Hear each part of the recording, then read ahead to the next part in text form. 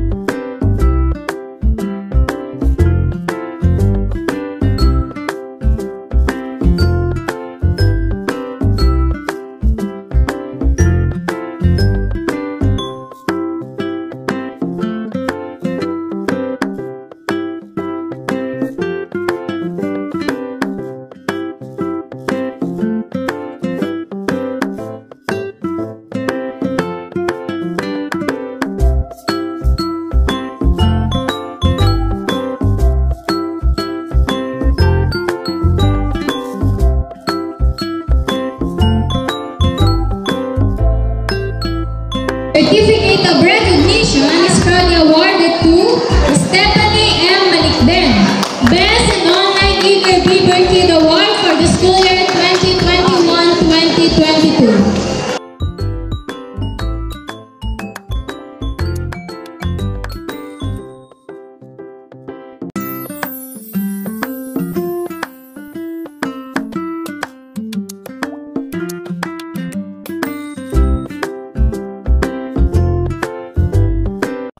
few moments later. Next, we have Wade Drexler and Malik Dev with honors. Stakeholder, Mr. Nino A. Malik Dev.